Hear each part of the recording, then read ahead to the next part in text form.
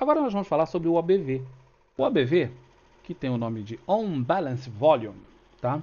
ele nada mais é do que a soma do volume de um dia com o do dia, do dia atual com o dia anterior, se o, se o troço foi positivo. Ou a subtração do volume de hoje do dia anterior, se o, se o dia foi num dia negativo. Tá? Nada mais é do que isso, a conta é bem simplesinha de fazer. Ele não funciona no intraday, então para todos vocês que são day traders, esquece que ele não funciona. Tá? Não funciona. É, mas Campos, eu vi o João Pedro falando. Não funciona. E o Marquinho também não funciona, tá bom? Não funciona para intraday. Funciona para quem vai operar swing trade. Beleza? Então, esquece para intraday. Por que, que você sabe disso, Campos? Porque eu testei, cara. Porque eu testei isso aqui muito tempo. Eu já li muito sobre isso, porque é uma coisa que é essencial para a gente saber se está acumulando ou se está distribuindo. Por quê? Vamos ver a Petro, aproveitar que ela já está na tela. Observa que aqui, durante essa fase, a Petro ficou andando de lado. Tá? Um bom tempo. Um bom tempinho aqui. Certo? Andando de lado. O volume não me dizia grandes coisas. Tá? Teve aqui um dia de volume mais alto, que foi nessa tentativa de rompimento que falhou, tá vendo? Isso aqui era o típico trade que eu, por exemplo, compraria. É um rompimento de congestão com volume muito acima da média, seria muito potencialmente uma boa compra. Tá ok? Mas voltou. Voltou para dentro da congestão. Muito bem. Se você olhar o volume, ele não está te dizendo nada. Mas o OBV poderá te dizer. Porque muitas vezes, antes do preço romper, o OBV rompe. Você vai traçar linhas de, de, de tendência no OBV.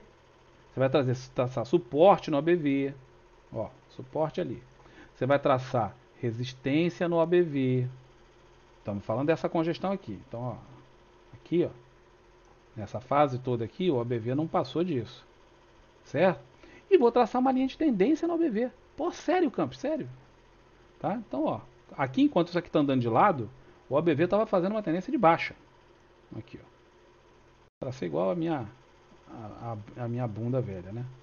Vamos lá. Deixa eu tirar isso daqui, fazer de novo, porque isso aqui tá uma porcaria. Mas vamos lá. Aí fez essa tendênciazinha aqui linha de tendência, não é? No OBV, tá aqui, pegou estopim, pegou estopim, pegou estopim, tá. Quando rompeu a linha de tendência no OBV, observa aonde o preço da ação está.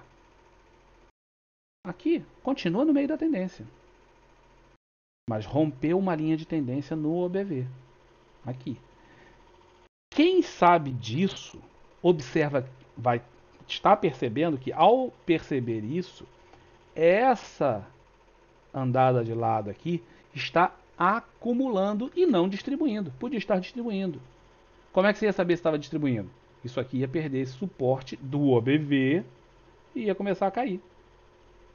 Não perdeu o suporte, tinha uma linha de tendência e aqui, ó, rompeu a linha de tendência no OBV. Esse candle rompeu. Aqui o cara vai. Então eu vou operar esse candle? Vou comprar? Não. Claro que não. Continua dentro da congestão. Mas você vai ficar atento. Agora você vai ficar atento nesse movimento. Aí fez mais um candlezinho.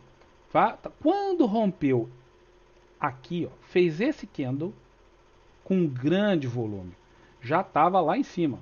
Mas quando rompeu a resistência do OBV, primeiro já tinha dado um sinal aqui, Agora rompeu a resistência do OBV. Rompeu no dia anterior ao gap. Esse aqui, ó.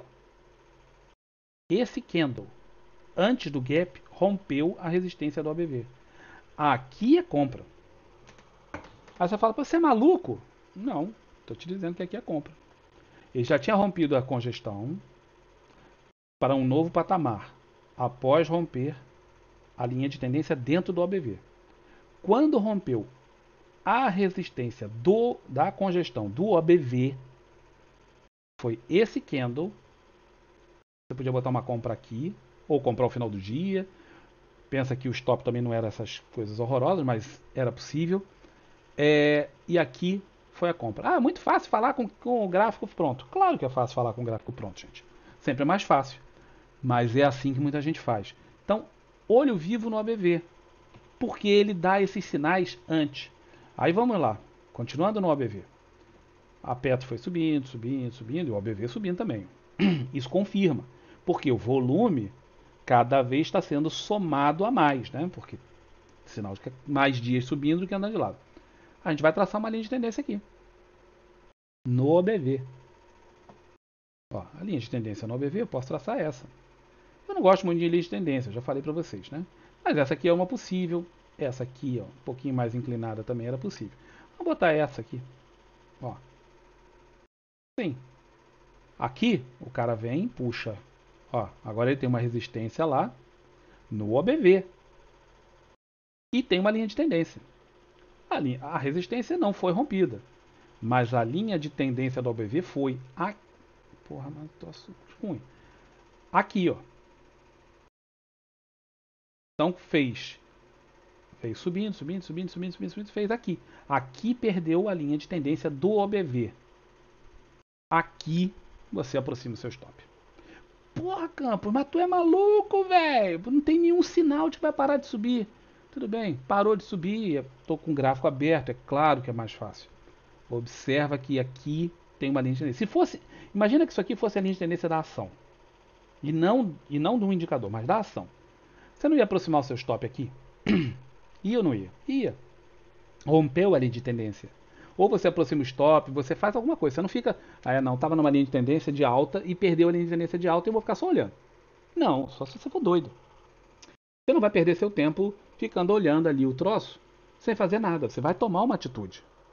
Tá? Então, você vai tomar uma atitude. A atitude é aproximar o stop. Aqui.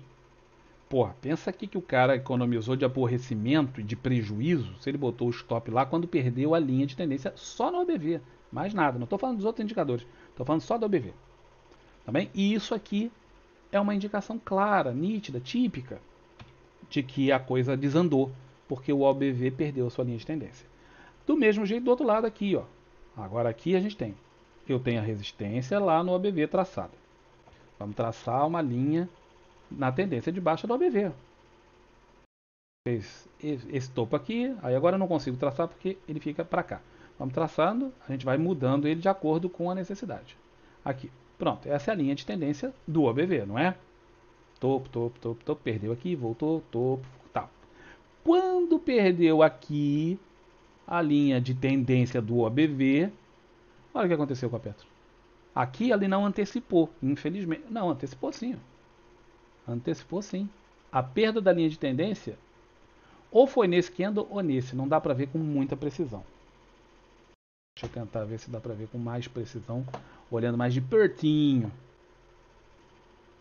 Então foi esse candle que fez o rompimento do negócio. Se não foi esse, foi esse. Você pode escolher. Aqui o cara faz o trade. Geralmente antecipa. Quando não antecipa, você pelo menos já estava esperto. Imagina o cara que vem na tendência de baixa, o cara podia estar na tendência de baixa. Quando chegou, fez isso aqui, o cara já tinha que ter aproximado o stop dele aproximou o stop. Na, ele está vendido, aproximou o stop. Veio aqui encostou de novo na linha de tendência, o cara aproximou o stop. Porra, veio aqui no outro dia, aproxima o stop. Pronto, veio o gap e o cara tá bem, ele saiu do trade. Captado? Então a linha de tendência no OBV é muito importante. Parece uma grande babaquice, mas não é. Isso funciona que é uma beleza. Quando você afasta o gráfico assim, então fica mais fácil. Tá bem? Na, no caso da nossa Petra aqui, ó, ela vinha caindo, caindo, caindo, caindo. Observa o OBV, caindo, caindo, caindo, caindo. Deixa eu traçar uma linha de tendência no OBV. Daqui de cima até lá embaixo. Ó, linha de tendência no OBV. Topinho, topinho, topinho, muito bom. O que, que aconteceu aqui? Vamos ver. Quando perdeu a linha de tendência do OBV? Já estava lá em cima não foi tão eficiente. Certo? Não foi tão eficiente dessa vez. Mas, se o cara ainda estava no trade, aqui era a hora dele sair. Evitou pelo menos que ele tivesse um prejuízo maior. Se ele vinha vendido, ele deixou na mesa uma parte, mas pelo menos aqui ele já ficou ligado. Eu teria saído no primeiro gap. Imediatamente nesse primeiro gap aqui, tá? Mas nesse caso o OBV não foi tão útil, mas costuma ser. Tá? Vamos ver a Vale que naquele caso que eu estava, que eu estava trabalhando, nós vamos ver o seguinte. Vamos traçar esse, essa era a congestão. Vamos traçar as linhas de resistência dentro da congestão. Linha de suporte dentro da congestão. A congestão está aqui. A linha de suporte vai ser mais ou menos aqui. Certo? Foi a menor que teve dentro da congestão. Agora vamos traçar a linha de tendência do OBV. O OBV vinha subindo dentro da congestão. Perfeitamente. Vamos lá. Essa aqui é uma linha de tendência dentro da congestão, não é? O que aconteceu aqui? Perdeu a porcaria da linha de tendência dentro do OBV. Observem isso aqui. Eu tinha comprado aqui, cara. Eu tinha comprado no dia anterior. Olha só. Eu, aí eu vou te falar assim. Você sabe disso, cara? Sei. Você usa o OBV? Não. Você é burro? Sou. Você é burro, cara. Porque eu sei disso. É, eu sei disso, é muita coisa e tal, mas eu sou uma besta, porque eu sei disso. Te, eu falei para vocês que eu comprei esse livro em 2008. Eu já li esse livro todo, de ponta a rabo, mais seis vezes. Eu já li o livro do Prim? Já. Já li o livro do Murphy? Já. Já li o, o, o livro daquele Magui? Já. É... Pô, estudei Al Brooks são de vezes. Os livros e curso, e curso com o cara, e curso sem o cara. É, já estudei outras coisas, já estudei com. Já, já estudei bastante coisa, já fiz muito curso. Muito curso, acreditem, já fiz muito curso.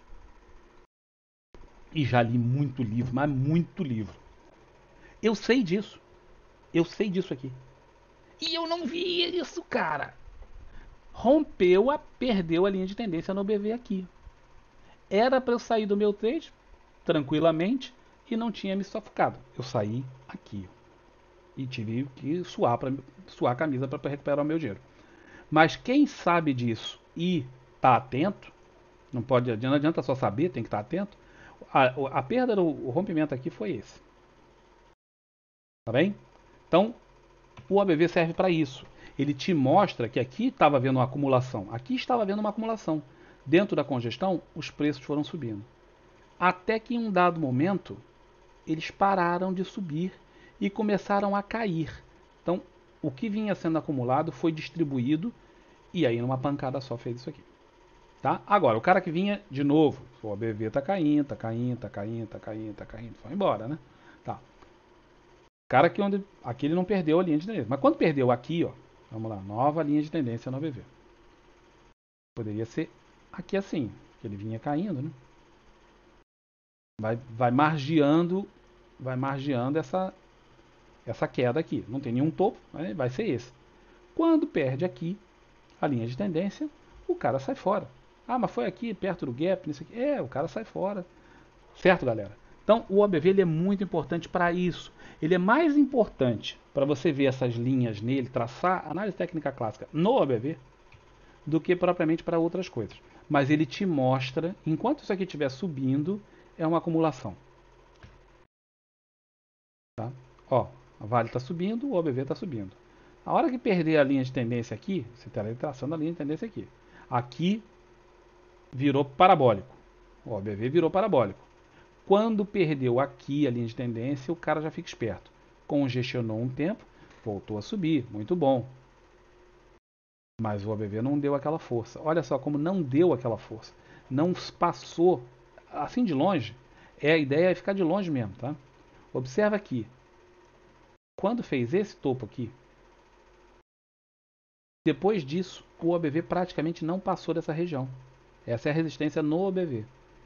Aqui em toda essa congestão, não aconteceu, isso aqui não foi ultrapassado. E depois perdeu. Quando perdeu, é abraço. Tá? Então, o uso do OBV serve para isso. Tá? É muito interessante. Muito, muito interessante.